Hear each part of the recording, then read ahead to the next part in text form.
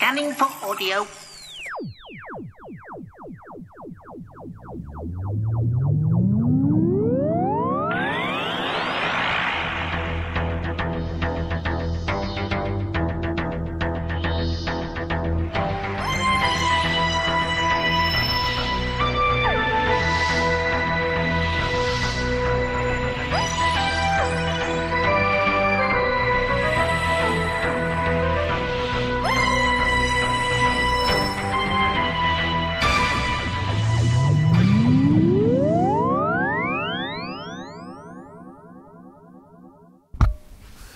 Welcome to a Tin Dog podcast.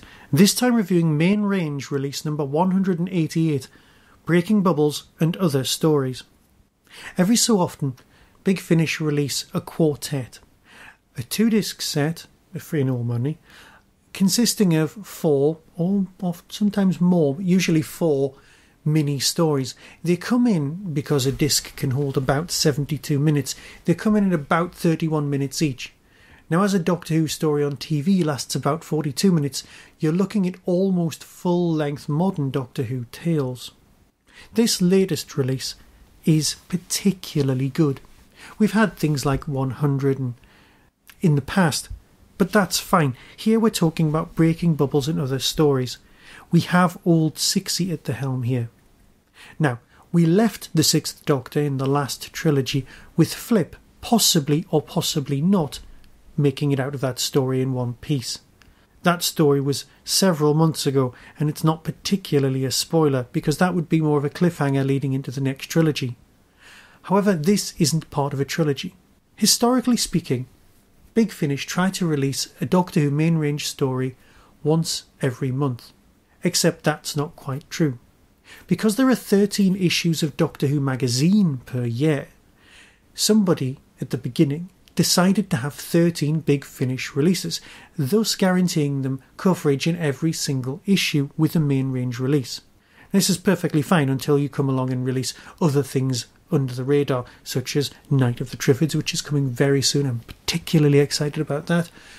And countermeasures and the fourth Doctor box sets. But in the beginning, there was only really some Bernice Summerfields and some main Doctor range. It wasn't even called the main range, it was just called the range, because that's all they kind of did. You have 13 Doctor Who stories. You have Doctors 5, 6, 7, 8, or 4. You've basically got five Doctors to play with.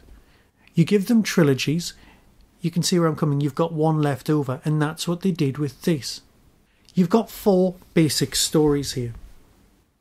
And by basic, I don't mean they're particularly badly written, because they are not. You have four. You have Breaking Bubbles by Liz Miles. And if you find episode 400, which I know was episode 364 of the Tin Dog podcast, but I wanted to celebrate early so that I could get everything recorded and out before the summer. I'm sure you'll forgive me, you have stuck with me for several hundred years at this rate. Breaking Bubbles. Now, the next one is called of Chaos Time The. Now that's by Mark Ravenhill. The third one, An Eye for Murder, written by Una McCormack. And the last one, The Curious Incident of the Doctor in the Night, by Nev Fountain. Familiar names, yes, especially the last one. But all four of them are particularly strong. Now, on the extras, Colin Baker does talk about a specific amount of time being allocated to record one main finish release, say for example, two days. Except here you have four stories, so the energy use is actually higher because you have to throw yourself into each individual tale. Are you getting less of a story because you have four individual and not connected tales? They are connected in the sense that they have a theme, but they aren't connected in the sense of a narrative. This isn't following on from Flip's departure or possible non departure. This is a completely separate tale. It does not affect the quest for Perry, if there's ever going to be one. These are standalone. If you've not experienced Big Finish at all, why not start here? Because they're not linked with any other story. It's the Sixth Doctor, the good audio Sixth Doctor, not the messed about with TV Doctor who people have a love slash hate slash loathe relationship with. No, this is good old Colin. Colin and Nicola, beautiful pairing. They work so well on audio. And here they're working superbly. So, what are the four stories about? Each of them are about perception in certain way, how we see reality.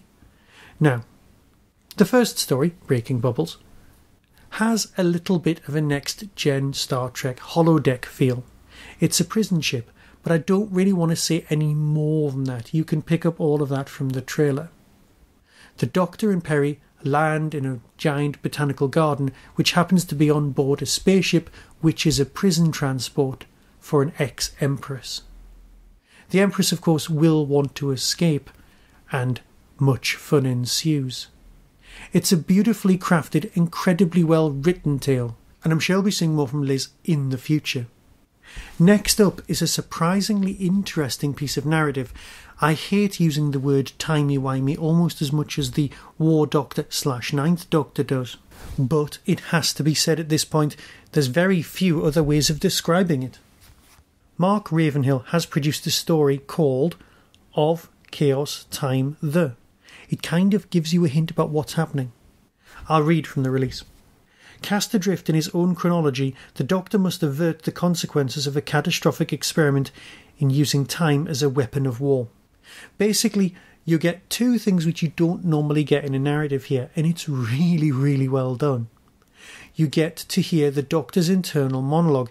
Now, you've not heard this on a Big Finish release for a long time, not since McGann was up climbing, I believe, a castle. And you're looking at a story that happened eight years ago for this. You don't get to hear the inside of the Doctor's head and his thought processes very often at all. The nearest you get is him talking to himself, but here you're actually in there, experiencing the, the bluster as he tries to perceive what's going on and put things in some sort of order.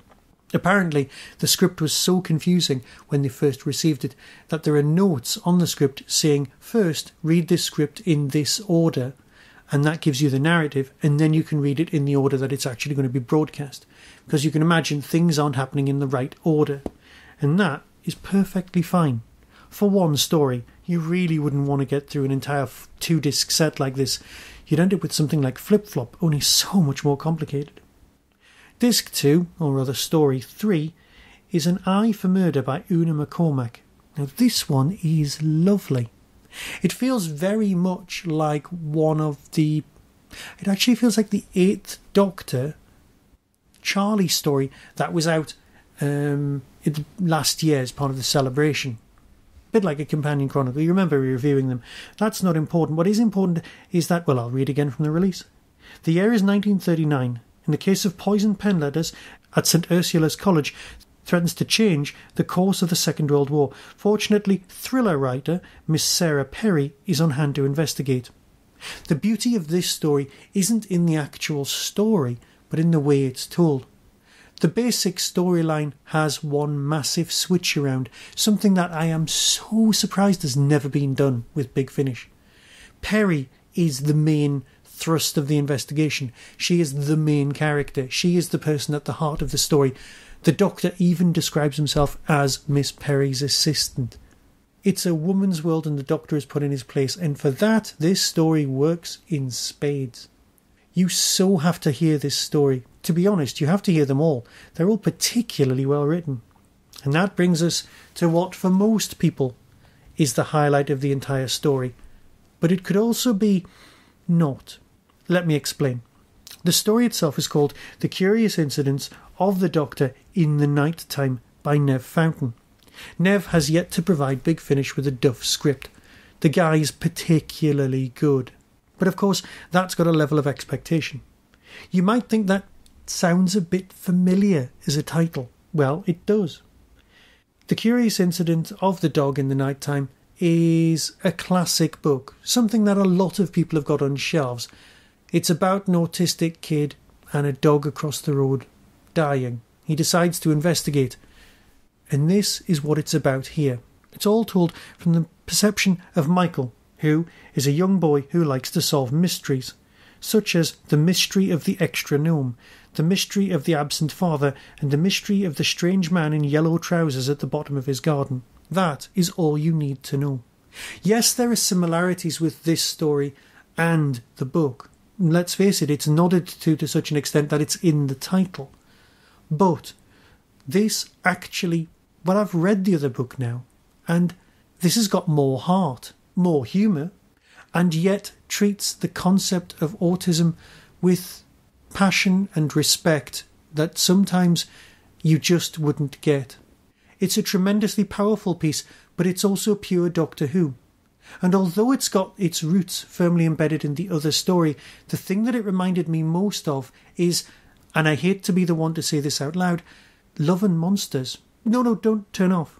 The narrative speaking is someone with emotional issues, something happens with his parents, he needs help, the doctor enters his life. It has the feel and the essence of all of the great bits of Love and Monsters without any of that tedious messing about. But even then, the monsters in this story are ludicrous to such an extent that they belong in the 1980s Doctor Who universe. If this had been on screen, people would hate this story if it had been out when they were children. But listen to it, it says a lot and you'll be grateful you did. So, with that, I'll play the trailer and speak to you all very soon, probably about Doctor Who. Be seeing you. Coming soon from Big Finish Productions Doctor Who Breaking Bubbles and Other Stories. May I ask how you got here? Oh, the usual way. Which is? We landed. In a spaceship?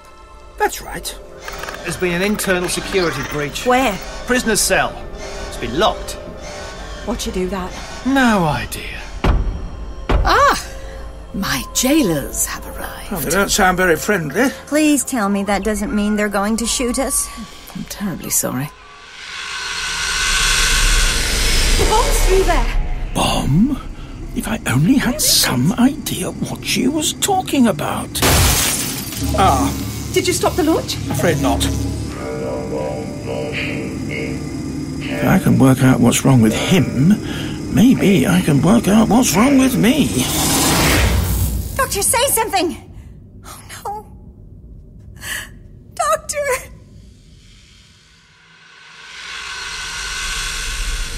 There's a choice coming for all of us.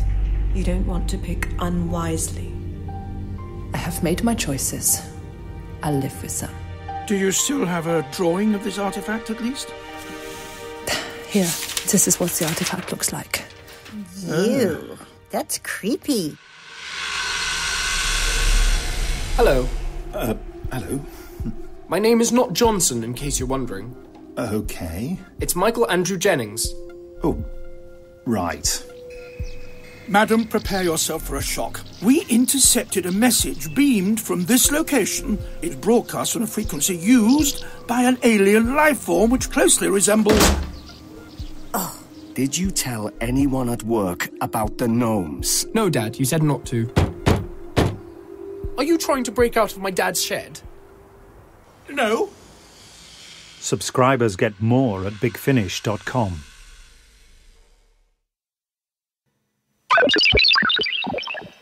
On Saturday, August the 30th, at the Derby Inn Quad, Whooverville 6 will take place. Guests include Peter Davison, David Troughton, Michael Troughton making an exceptionally rare appearance together, producer Derrick Sherwin, and musical maestro Dominic Glynn, Terry Davros Molloy, and Deborah Watling, and Sinead Michael from Series 5 of Sarah Jane Adventures. And as always, a gaggle of podcasters and merchandise dealers' room. Tickets are priced between £10 and £40. Visit the Derby Quad website for more details and to order tickets.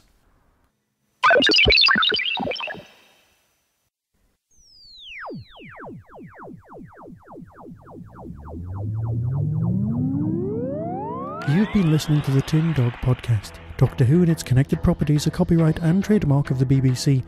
No infringement is intended.